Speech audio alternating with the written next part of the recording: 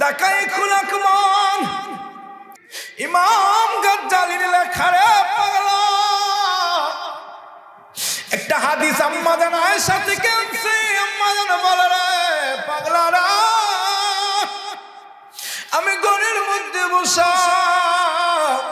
আমার নবী আইসা আমার দরজার মধ্যে দিয়ে ঢুকছে। রহমাতাল্লিল আলামিন, ঘরে ঢুকছে। আমি খাট থেকে দাঁড়াইয়া যাওয়ার জন্য দাঁড়াইছি। আমি যেই না মাত্র দাঁড়াইব, সম্মানে কেয়াম করা যায়। নবী দরজা দিয়া ঢুকছে।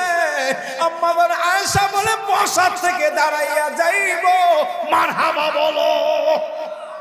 ও বাবা, এটা আমার বিষয় না, তবুও বলি, হাদিসের মধ্যে চলে আসছে, দাঁড়াইয়া সম্মান করা, এটা বাবা হারাম না, বেদাত না, এটা আদব, এটা আমার নবীর সুন্নাত, সাহাবীদের সুন্নাত, ঠিক কিনা?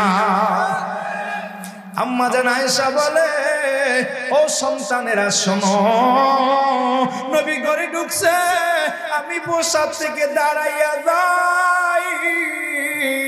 নবী আমারে কয়া সাধারাইস না। বসো বসো। আমি বসা থাকলাম খাটের মধ্যে আমি বসা। নবী আমার রানের উপরে মাথাটা দিয়া নবী আমার শুয়ে পড়ছে। আমি বুঝলাম নবী ক্লান্ত, নবী পরিশ্রান্ত, নবী সফর কইরা আসছে। আমার রানের মধ্যে হা মাথা দিয়া নবী শুয়ে পড়ছে। আমি মাথার মধ্যে হাতটা বুলাইলাম, মাথার মধ্যে বিলি কইরা দিলাম। নবী দেখি ঘুমাইয়া পড়ছে, চোখটা বন্ধ হইয়া গেছে। আমার মাথা থেকে হাতটা ঘুরতে ঘুরতে নবীর দাড়ি মোবারকের মধ্যে চইলা আসছে গো। আমার নবীর দাড়িগুলো আমি হাতাইতেছি আর দেখতেছি, একটা একটা দাড়ি নবীর পাকছে। আমি পাকা দাড়িগুলো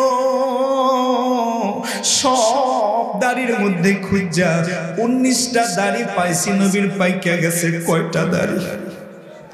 উনিশটা দাড়ি নবীর পাইকা গেছে। আম্মা জানায় কয়, আমি তো জানি। রসুল বলছিল, চুলার দাড়ি সাদা মরণের চিঠি আসা।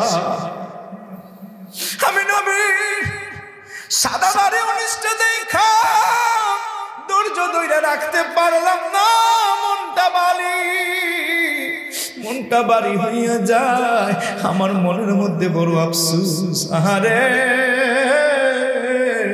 নবীর দাড়ি পেকে যাচ্ছে, নবীর তো বিদায়ের সময় হয়ে গেছে, কারণ দাড়ি চুল পাকা, এটা মরণের সিগনাল আমার নবী এই জন্য বলছে, পাগলারা রে, যখন কারও দাড়ি চুল পাকে, আর অন্যায় করিস না, আল্লাহর পর থেকে আর দূরে যাস না।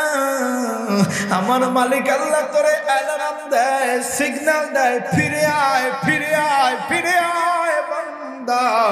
বেশি সময় নাই, রং তামাশার সময় নাই, অল্প দিনের মধ্যে মালাকুল মাউ দরজায় হাজির হইয়া যাইবে। ছেলে বলে আব্বু তোমার চুল পেকেছে। মেয়ে বলে আব্বু জানের দাড়ি পেকেছে। আমি বলি, আমার মরার সময় এসেছে।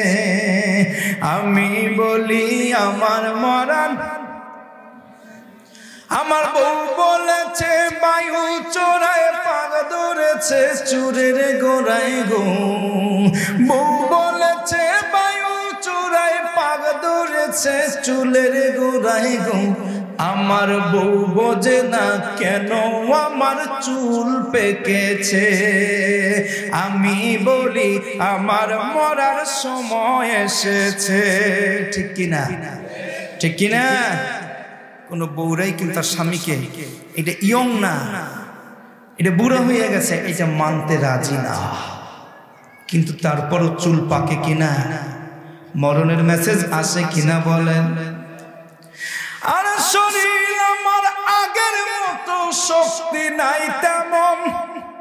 শরীর জানি হইয়া গেছে কেমনের কেমন।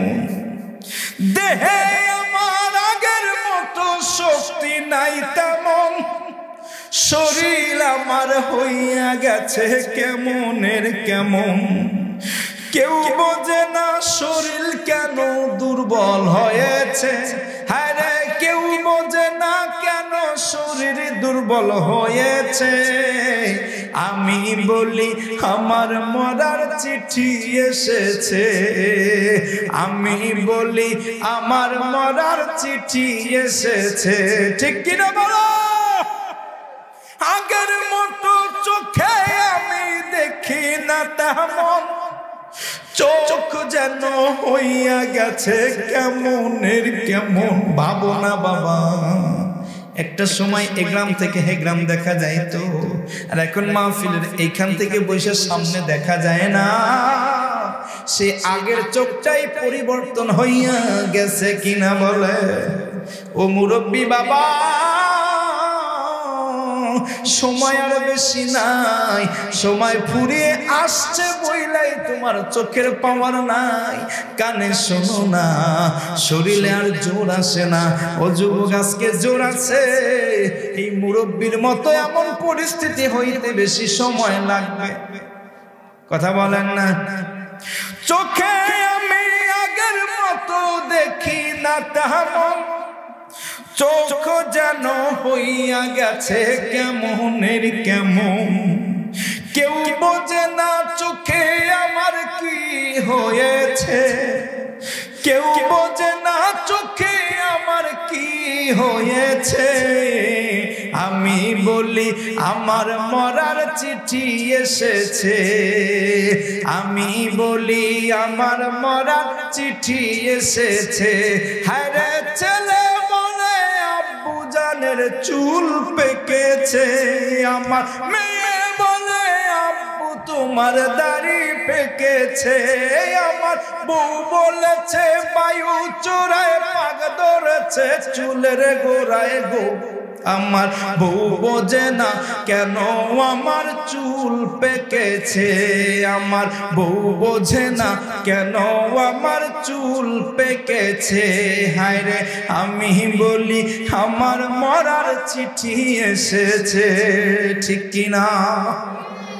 আম্মা জানাইসা আমার নবীর চুল পাখা দেখা চোখের পানি আর ধরে রাখতে পারে না রে পাগলা। একটু মনটারে নরম করো বাবা। ও যুবক, যদি বর্ষই যখন একটু মনটা নরম কইরা, আমার নবীর কথা চিন্তা করো। নবী আমার রহমতুল্লিল আলামিন, দুনিয়ায় আসছিলেন, আল্লাহ চাইলে সারাটা জীবন নবী থাকতে কিন্তু নবী থাকেন নাই তাকেও যাওয়া লাগছে কিনা বলো? কে এমন তুমি? কে তুমি? কি তোমার পরিচয়? কি তোমার দাপট? কি তোমার প্রভাব? কি তোমার ক্ষমতা? তুমি দুনিয়ায় থাকতে চাও। দুনিয়ায় রাম রাজাত্ব কায়েম করো তা সে রাজাত্ব কায়েম করো, মানুষের উপরে জুলুম করো, অন্যায় অবিচার করে করে হালাদ আল্লাদে মত্ত ওরে পাগলা, না না, দুনিয়া তোর ঠিকানা না, তোমার ঠিকানা কবর, ঠিক কিনা বলো? জান আয়সা আমার নবীর সুনিস গাচ্চু সাদা হয়ে গেছে। আম্মা জান আয়সা বলে হারে নবীও বৃদ্ধ হয়ে যাচ্ছে, নবী তো আর আমাদের মাঝে থাকবে না। নবীও তো একদিন চলে যাবে মত এতিম হইয়া যাইবে। কত তিন দিন পর্যন্ত খায় না না খাইয়া মসজিদে বৈশা থাকে আমার নবীর চেহারাটা দেখলে তাদের ক্ষুদা নিবারণ হইয়া যায়। এই পাগলেরা যখন আমার নবী থাকবে না, নবী চইলা যাইবে। এই পাগলেরা কার কাছে যাইবে? কারে দেখবে? কার কাছে মনের দুঃখ কইয়া জ্বালা মিটাইবে? আমার বাবা, আম্মা জানায় শাসের দিকে এগুলো চিন্তা করে তিনি কান্দেন। কাঁদতে কাঁদতে চোখ থেকে দুই তিনটা ফোঁটা পানি গাল বাইয়া নবীর গালের উপরে পড়ছে। আমার নবী ঘুমিয়েছিলেন। হঠাৎ কইরা গালের উপরে পানির ফোঁটা নবী চমকে উঠলেন।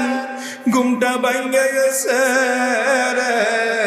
তাকাইয়া দেখি প্রিয়তমা বিবি হুমায়রা, যারে আমার নবী সব চাইতে ভালোবাসে। ভালোবাসার হুমায়রা, রাঙ্গা পরি হুমায়রা, চোখ পাইয়া পানি, তিনি কান্দে। ডেকে বলে, আয়সা রে। আমি তোমার হাঁটুতে মাথা দিয়া ঘুমাইছি। তোমার বুঝি কষ্ট হয়, তাই বুঝি তুমি কান্দো আয়সা বলে, নবী, না না, আমি এই জন্য কান্দি না গো নবী। আমি যখন আপনার দাড়ির মধ্যে হাত ফলাইছি গো নবী, ও নবী, উনিশ গাছ আপনার পাইকা গেছে গো। আপনি তো থাকবেন না বেশি দিন মনে হয়। আপনার পাগলদের কি হবে? আপনার পাগলেরা কার কাছে যাইয়া মনের দুঃখ কইবে আমি এই দেখিলাম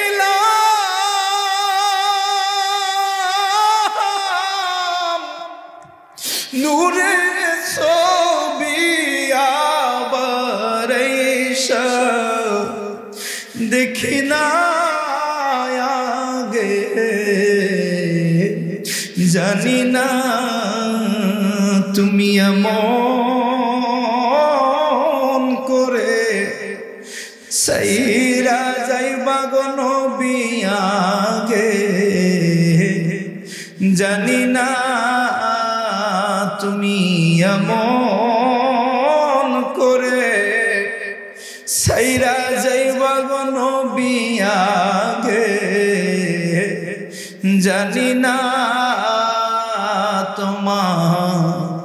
আত্মাতে মি সাইয়ারে আত্মা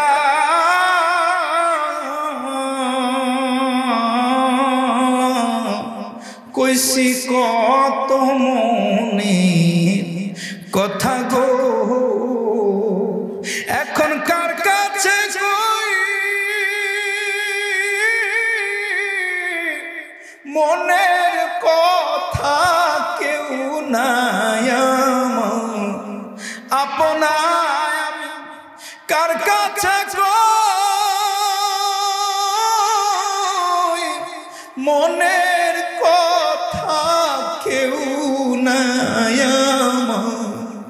আপনায় আগে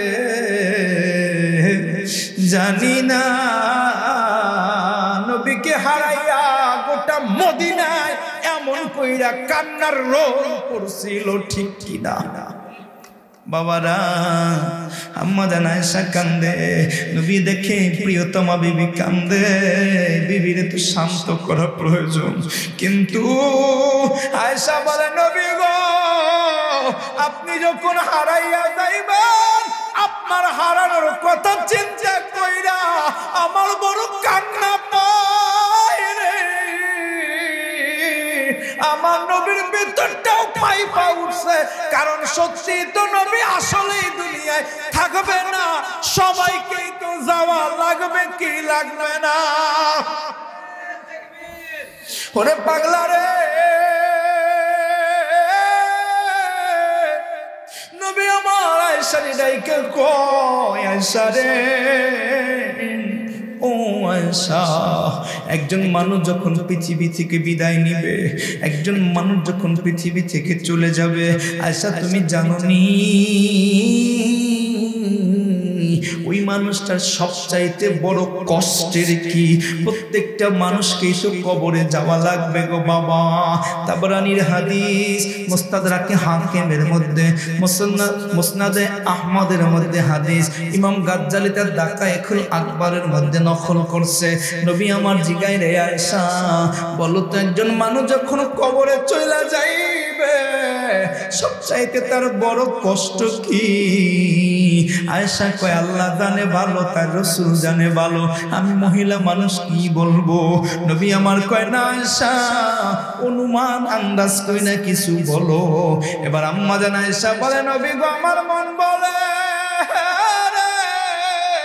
এই সন্তানের মায়া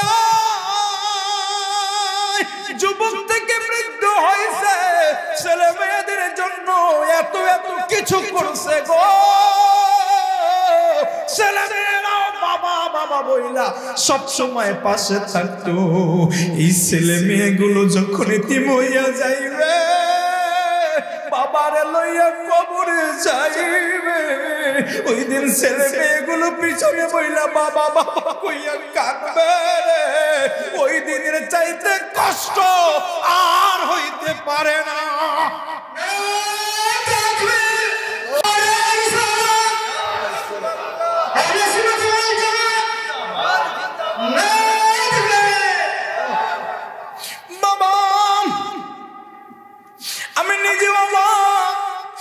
ছোট্ট একটা বাচ্চা। তিনটা বছর বয়স হয়েছে বাচ্চা। আমার ছোট্ট বাচ্চার কথা বলি, গত রাত্রে আমার বাবা কাছে প্রোগ্রাম বাসাতে চলে আসছি আগে। ছেলে এখনও ঘুমায় নাই। তার মা বলছে, তোমার পেটে কৃমি হয়েছে, তোমার পেটে সাপ হয়েছে। মা বলছে, পেটে সাপ হয়েছে, ছেলে ভয় পাইছে, ছেলে কাঁদতাছে, আমি তাড়াতাড়ি বাসায় আসছি। আমি এসা দেখি ছেলে কান্দে, কাঁদতে কাঁদতে শরীরটা থর কইরা কাঁপতাছে। বাবা বাবা বলে চিৎকার করতেছে, আমার বুকের মধ্যে আসছে, আমি তাকে জড়াইয়া ধরছি। এখন আমি লইয়া লইয়া বাসার মধ্যে হাঁটি তার উপর ছেলের কান্না থামে না। সত্যি কথা বলব কি? আমার মতো যুবক রে বাবা, ছেলের গত রাত্রের কান্না দেখে নিজে স্ত্রী থাকতে পারছিলাম না রে। আমার নিজেরও খারাপ লাগছিল।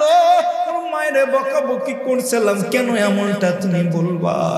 বাবা, আমি দেখলাম ছেলের কান্না, অথচ আমার বুকের মধ্যে কেমন জানি পার মারে। অথচ চোখের সামনে কত রক্ত, কত অ্যাক্সিডেন্ট কত দুর্ঘটনা, কত মারামারি দেখি। তাতেও যতটা কলিজাটা নরম না হয়। নিজের সন্তানের চোখের পানি দেখলে কোন বাবা, কোন মা জীবনে স্থির থাকতে পারে না। ঠিক কিনা বলো? ও নবী, আম্মা বানায় ওই বাচ্চা যেদিন বাবা বাবা বইলা কাঁদবে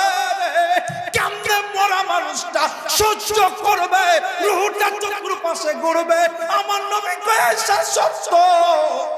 ওই দিন ছেলেরা কাঁদবে মা মা বইলা, মেয়েরা কাঁদবে, বাবা বাবা বইলা। মৃত্যু মানুষটা রুহুটা গড়বে আর ছটফট করবে, আল্লাহরে ডাক দেবে, আল্লাহ।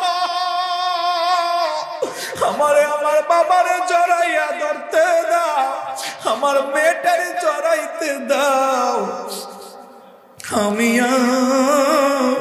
সহ্য করতে পারি না রে আয়েশা। একজন মৃত মানুষের এটা সবচাইতে বড় কষ্টের। আয়েশা রে, বলো তো, এরপরে সবচাইতে কষ্টের ঘটনা কি? আম্মা জান আয়েশা বলে, নবী, ক্ষুদ্র জ্ঞানে আমার মনে হয়, যখন ঘর থেকে নামাইয়া মশরি টাঙ্গাইয়া। অভিজ্ঞ দুই তিনজন মুরব্বীর ভিতরে ডুইকা এরপরে মৃত মানুষটারে গোসল দেওয়ার আঞ্জাম করবে। পরনের লঙ্গিটা খুলবে।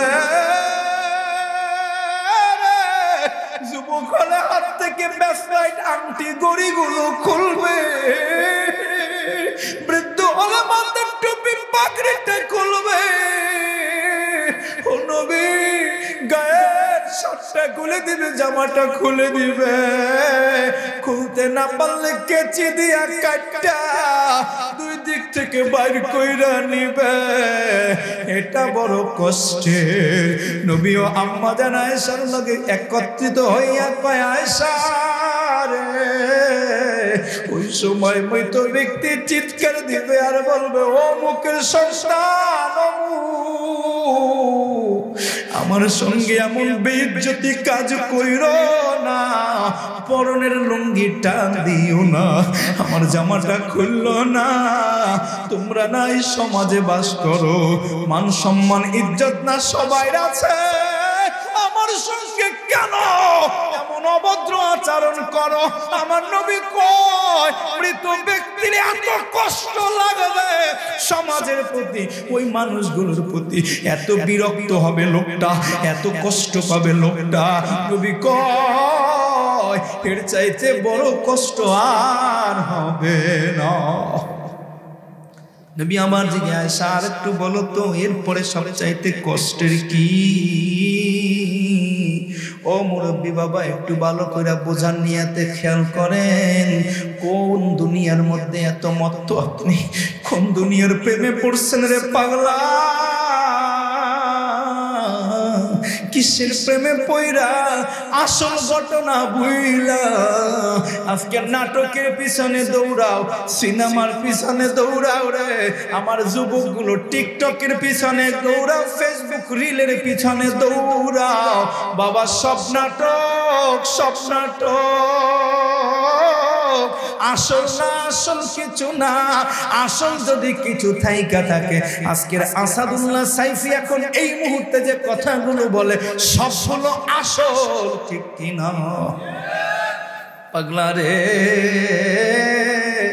নবী কয়, ও আয়সা, বলো তো তারপরে কি কষ্টের এবার আম্মা জান আয়সা কয়, আমি আর কইতাম পারুম না। এবার আল্লাহ এবং তার রসুল আমার কোক, আমি শুনতে চাই। স্বামী, স্ত্রী দুইজনই কান্দে। দুইজনের চোখ থেকে পানি কিন্তু বন্ধ হয় না আম্মা দানের চোখের পানি তো সেই চুল দেখা ওই থেকে যারা শুরু হয়েছে নবীজিও তো কান্দে, আর কান্দে। আর এই এই ঘটনাগুলো বইলা বইলা কান্নাটা আরও বাড়াইতাছে, দীর্ঘায়িত করতেছে। এবার নবী কয়াসা রে।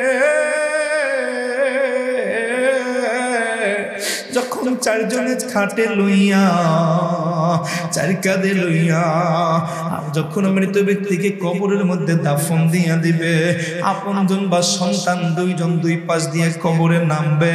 কবরে নাই মা, বিসমিল্লাহ আলা মিল্লাতি রাসূলিল্লাহ বলে যখন কবরে শোয়াইয়া দিবে, এরপরে যখন কাপড়ের বন্ধনীটা খুইলা দিবে, কাপড়ের বন্ধনীটা খুইলা দিয়া এরপরে যখন মাটিতে ঠেস লাগাইয়া উপরে উইঠা যাইবে উপরে উইঠা যাওয়ার সঙ্গে সঙ্গে মৃত ব্যক্তি একা।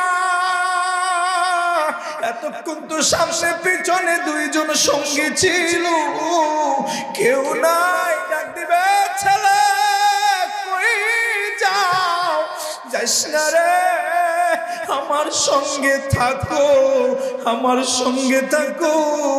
নবী চোখের পানি জড়ায় কান্দে আর বলে সারে এরপরে বাসের সাউনি দিয়া মাটি চাপাইয়া গোটা কবরটাকে অন্ধকার কইরা দিয়া সবাই চইলা যাবে।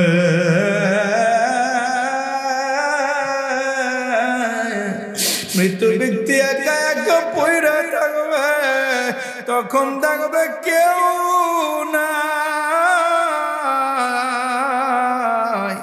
আয়সারে এটার চাইতে বড় কষ্ট আর নাই রে। পাগলা রে। নবী আমার বলে ও আয়সা যেই দুনিয়ায় আমার কোনো ঠিকানা নাই, যেই দুনিয়ায় আমার কোনো আবাসন নাই, যেই দুনিয়ায় আমার কোনো স্থান নাই, ওই দুনিয়ার পিছনে কোনো বোকা মানুষ ছাড়া আর কেউ গড়ে না। ঠিক কিনা বলো? একদিন পাখি যাবে উড়ে রে পাখি। আর আসবে না ফিরে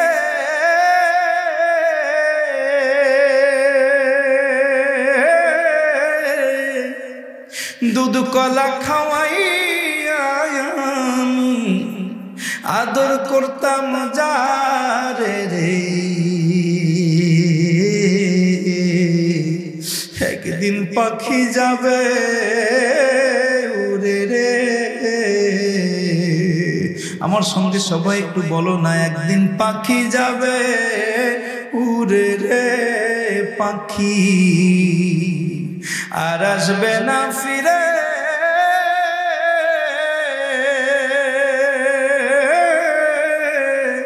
দুধ, কলা খাওয়াই আমি, আদর করতাম যারে রে। একদিন পাখি যাবে হাতে ধরে আদর করে কত কি খাওয়াইলাম? একদিনও না সেই পাখিটা চিনিতে পারিলাম। আমি হাতে দৈরায় আদর কইরা কত কি খাওয়াইলাম? না সেই পাখিটা চিনিতে পারিলাম। মাটির খাঁচায় থাইকা পাখি কত কি যে করে। বুঝাইলে না বুঝে পাখি, বুঝাইলে না বুঝে পাখি, তাল বাহানা করে।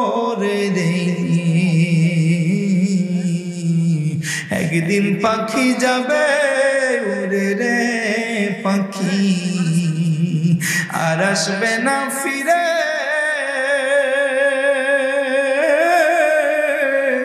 দুধ কলা খাওয়াই আমি আদর করতাম যারে রে। একদিন পাখি যাবে উড়ে রে। যাবে কিনা বলো? যেই দরজা দিয়া পাখি আসা যাওয়া করে চোখেরই পলকে পাখি বিশ্বভুবন ঘুরে, যেই দরজা দিয়া পাখি আসা যাওয়া করে চোখেরই পলকে পাখি বিশ্বভুবন ঘুরে মাটির খাঁচায় থাইকা পাখি কত কি যে করে। বুঝাইলে না বুঝে পাখি তাল বাহানা করে রে। একদিন পাখি যাবে আর আসবে না ফিরে।